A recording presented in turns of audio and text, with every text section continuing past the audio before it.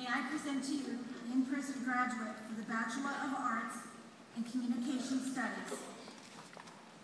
Graduating cum laude, Jennifer L. Wallenstein.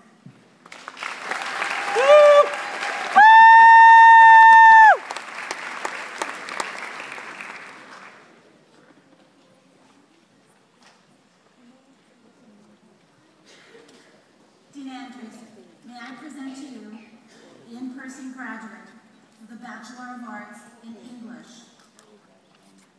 Gabrielle B. Nevin.